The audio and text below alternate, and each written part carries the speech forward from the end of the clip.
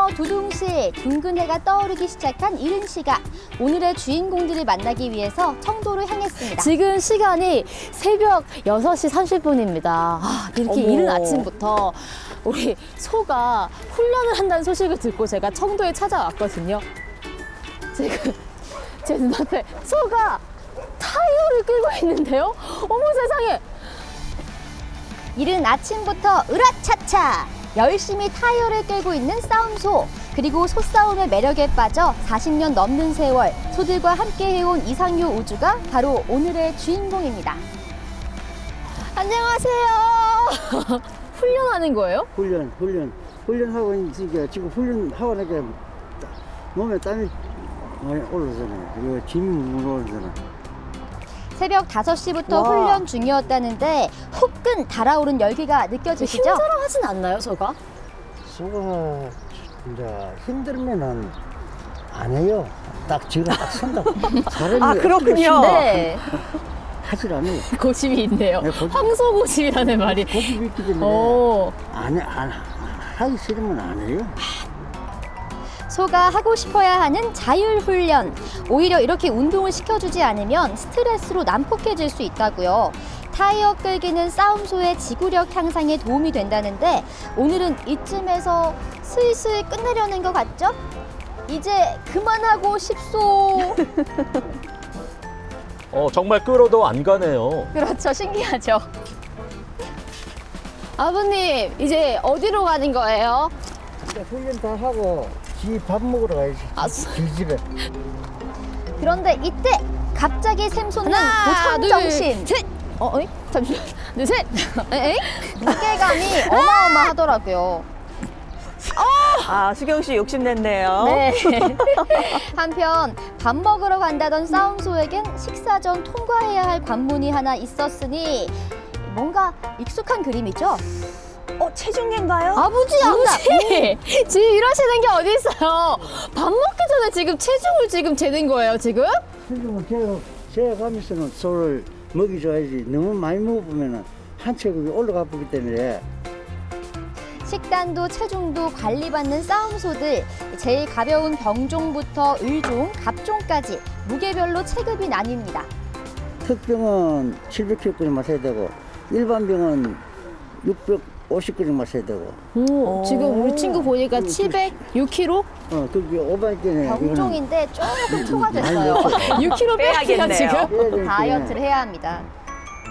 전문 트레이너가 따로 없죠.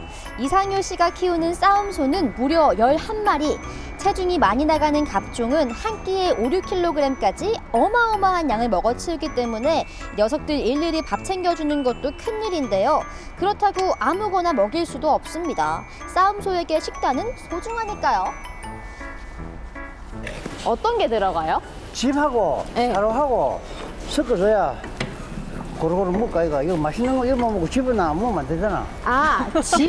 집이 주식이고 간식 같은 건가요, 그럼 이게? 이게 사료고 네. 이거 이거 채모식 하는 이 풀이 최- 최고 좀 소로만 사람만 영양제라 옷저 사료 오수식 하면 더 비싸 이게 최고 비싸 어. 비싸고 영양가 최고 높은 비싼 사료군요. 최고 높은. 풀이라 정 주고 마음 주고 사랑으로 보살피는 그야말로 자식 같은 싸움소들. 이번 소싸움 축제에는 이상효 씨의 소 7마리가 출전하는데요. 그 중에서도 유독 마음 쓰이는 녀석이 있다고요. 소가 뭐 참 사람도 잘해야 되지만도 어, 추첨도 잘해야 되거든 추첨을 등 하는 소끼리 소장에 만나보면은 어딘지 떨어져 떨어지거든 우리 옹당이가 오. 약간 그랬었나요? 네, 그런 입장이 지 추첨운이 지지리도 없었던 비운의 주인공. 이번에는 뽑기 좀 잘하자. 제발. 영광아 네 친구들은 다 등을 했는데 아주 니는 등을 못하고 끼가 없어가지고 유감이다 오늘은 어떡해. 등을 하고 어, 우승하자 얼마나 화이팅! 마음이 안타까워요. 그러니까요. 화이팅! 애정이 아. 느껴집니다. 여기서 잠깐!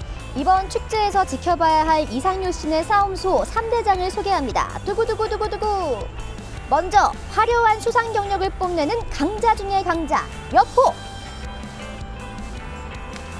지난해 wow. 진주 대회에서 3위를 차지한 실력자 떡상이 아, 마지막으로 이번 대회 첫 수상을 노리는 다크호스 용당이까지 믿음직스러운 삼총사에겐 든든한 지원군까지 있으니 바로 그럼 이상윤 아버지 씨 도와서 지금. 같이 소를 돌보고 계신 거예요? 안에 그냥 소 보러 온 거예요. 소를 보러 왔다고요? 어디서 오셨는데요? 저 경남 통영에서.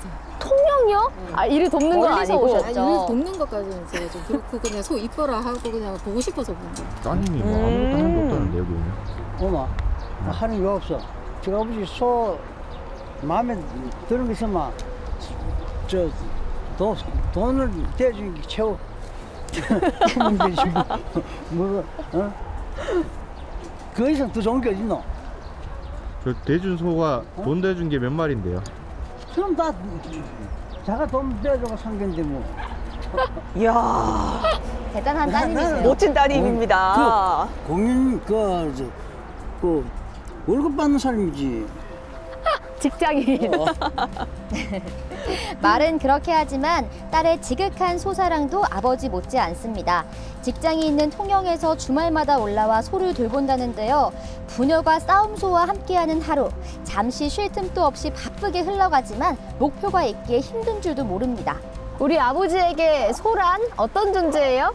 같이 같이 가다가 같이 가야지. 앞으로의 목표가 좀 있을까요? 목표는 최고 1등소로 그 길로 그 가고 있, 있다고 보면 돼요. 수- 지도 1등을 바라고 보고 어, 우주도 1등을 바라보고 달리는 거지.